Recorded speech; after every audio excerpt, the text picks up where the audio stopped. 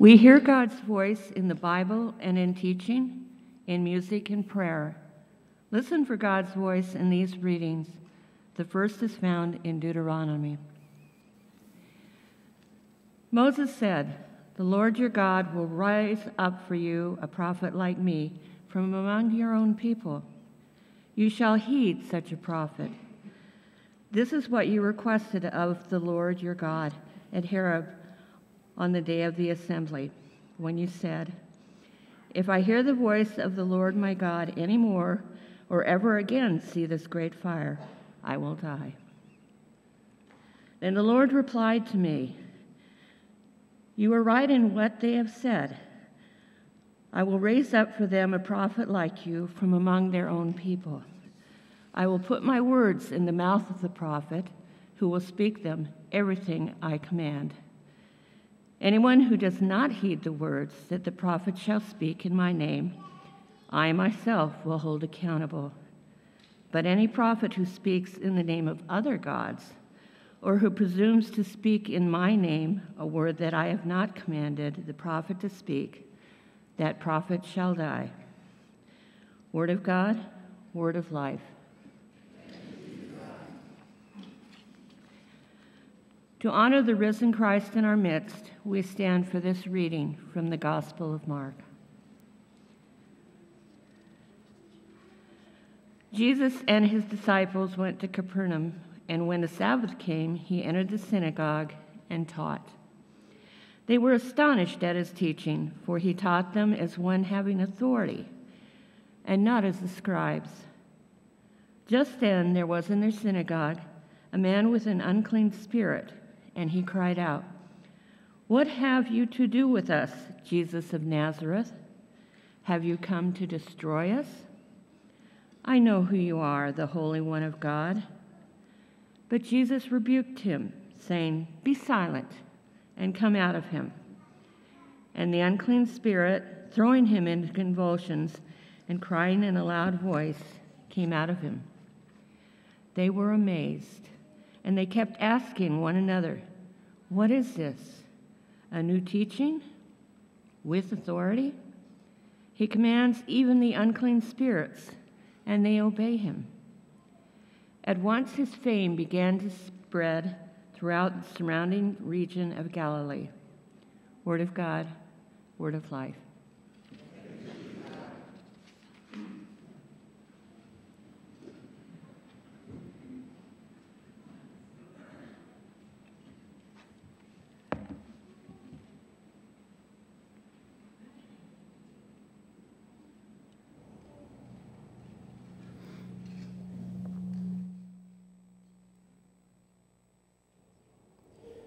Lord God, now may the words of my mouth and the meditations of our hearts here together be acceptable in your sight, you who are the rock and the Redeemer who brings us back again and again when we have strayed. Amen. Dear friends, in the church, as the body of Christ, all are equals. It is this associative quality that provides the freedom to explore our belief, to achieve intimacy, and to express God's love.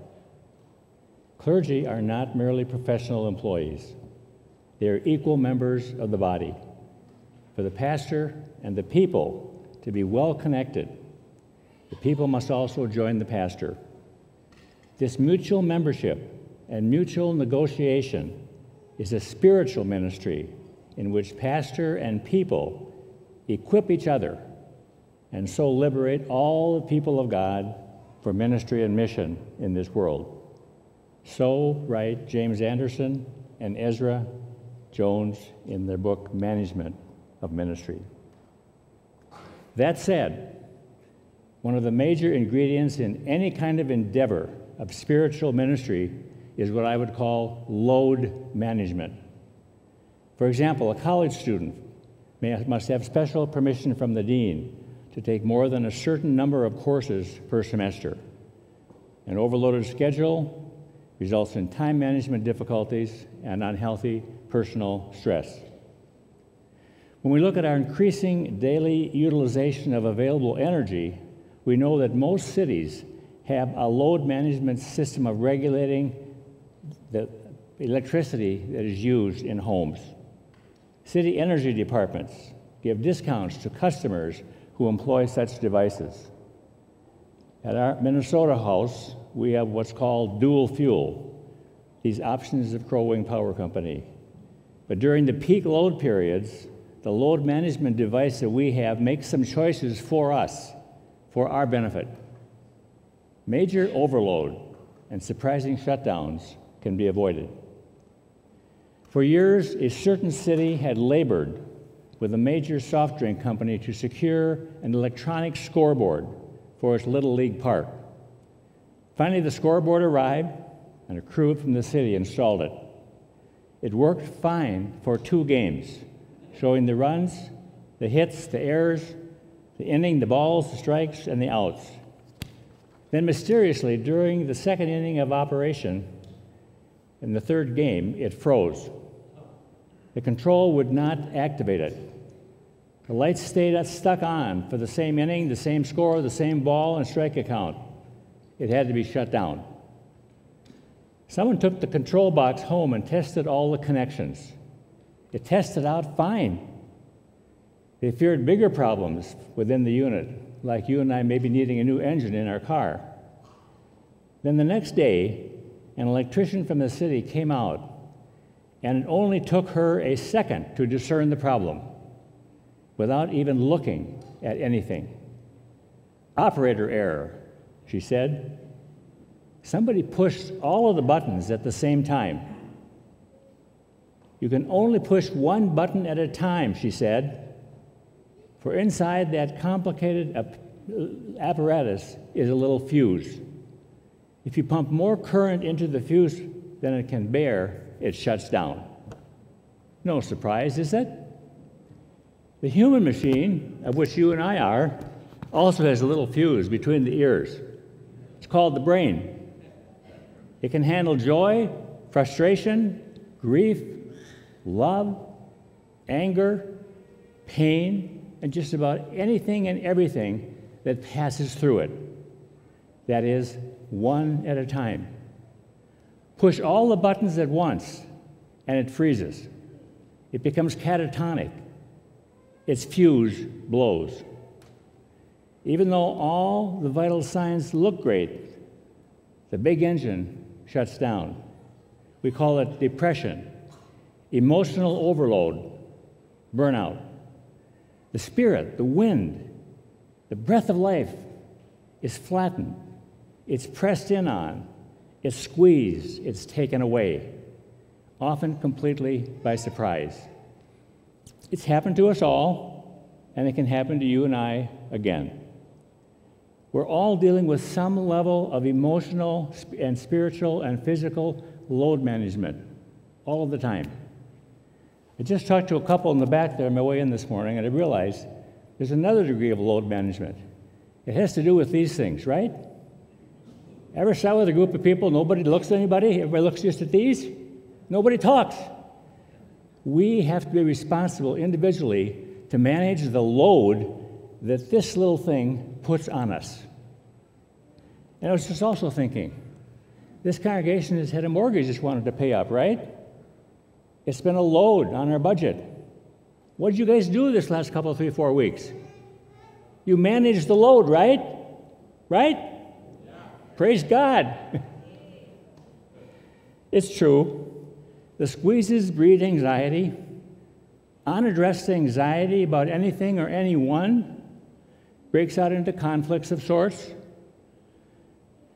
Human urges, desires, ambitions are frustrated, and dreams and abilities that tend to unhinge us make us go to pieces. Surely some kind of predictability is needed.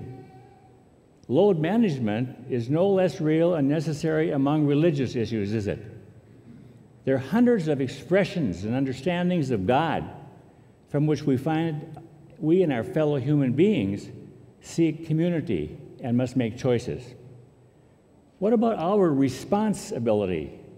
Our responsibility to God, who we claim in Christ as the Lord of our lives.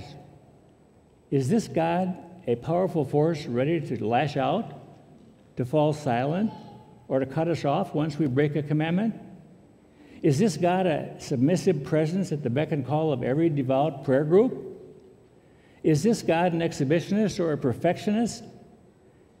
If all of our human problems merge into a last resort of some kind of a religious outlook or solution, then what, if anything, helps us to manage the load of the competing claims about God? How do we reconcile all of the extreme attributions made to God by frightened and hope starved people? Where do we and our Christian witnesses actually witness to the truth of God? Where is the solid rock? Big questions. Questions that surround us all and cry out for an answer that helps. And so, once again, the politics of an election year symbolize the quest for the truth that we all seek to inform and to guide us in our decisions about our tomorrows. Does God have a certain predictable character which manages our world's religious load? The matter of spiritual load management, or is something else at work here? The word for the day from today's scripture in Deuteronomy is yes, God does have a certain predictable character. In a world of competing religious claims and much human confusion, the Israelites are told that God will raise up a prophet to reveal God's will. This prophet will be like Moses, so everyone will be able to recognize him.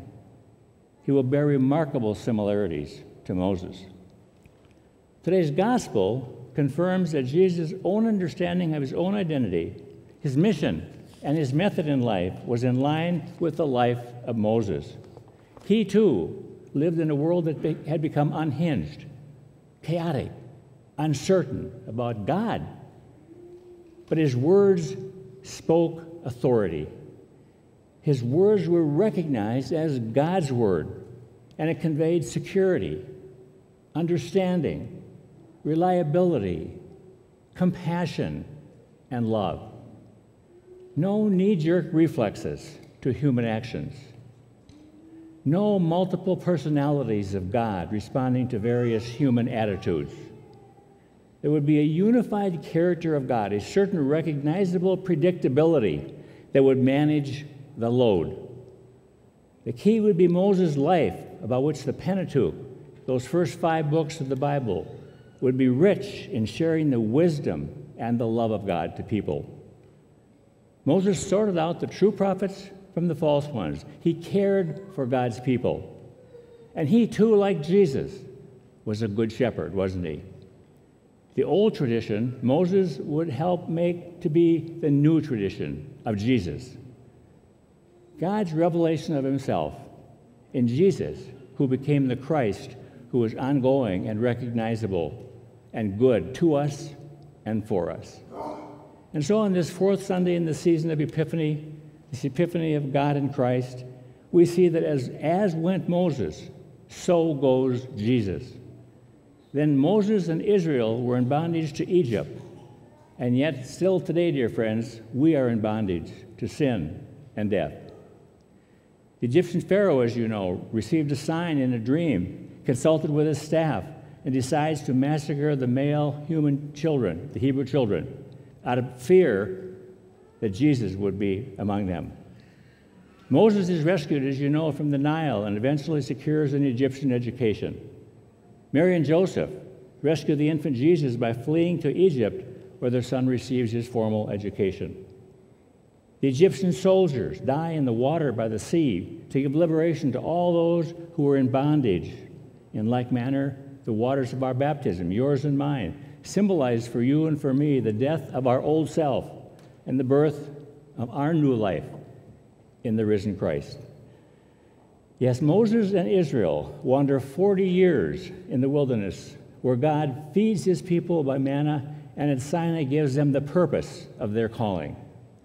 Christ is tempted in the wilderness for 40 days where his purpose is revealed, that he comes forth as the bread of life for the human community. And friends, we live our lives in the wilderness too, don't we? Life is not black or white, we know that. It is lived mostly in the gray zone. Just think back to COVID 19 at its worst. We lived there, and many died there. Whether we lived or whether we would have died, we were managing a heavy load, and many people still feel the effects of that heavy load and are trying to get free of it. Today, we live under a, under a new and challenging load of care in our country and in our world. But by God's grace, we live. The parallels, though, don't stop there. We can see that the Exodus and the cross are tied together with dramatic unity. The Exodus under Moses and the cross of Jesus are actual events in our human history, aren't they? Both create groups, Israel and the church. Both proclaim a saving message. And so, in 17 short days, we as a congregation of the Church of Jesus Christ are privileged to again begin our 40 day walk with God. This reliable, dependable, predictable God who faithfully manages the load of care that each of us carries. He manages it, as C.S. Lewis says, with the weight of his glory. That is the victory he won on the cross for us. For it was on the cross that that victory became ours as well. Not because, because he didn't count being equal with God an important thing, but he humbled himself, became obedient to death, even death on a cross. 40 Lenten days of listening, 40 Lenten days for us to show the way that we care. Whenever someone calls you to walk the walk or talk the talk of your Christian faith, take the invitation as if it were from the lips of Jesus. Here at our Savior's, we have important listening and caring to do in this in between time. Come to our weekly town halls, even today, and learn. Did you know that of all the seasons of the liturgical church year, the season of Lent is most like the interim period in the life of a congregation? The time between the no longer and the not yet. A time of creative, active waiting, active listening, as did Jesus in those final hours in the Garden of Gethsemane. Remember your baptism, dear friends. When you were baptized, you were buried with Christ by baptism into his death, so that if he was raised from the dead, so too shall you and I have new life. You need new life. I need new life. We all need the new life in Christ every single day. His love is what manages your load of care. His love does that for you. He will help you let go of what has kept your spirit low. He will help you let God be the load management factor in your new life. What a gift. Look at Moses. Look at Jesus. They had to overcome personal torments, inner struggles, self doubts, and fear through commitment to their higher calling a call that each of us received at the moment of our baptism.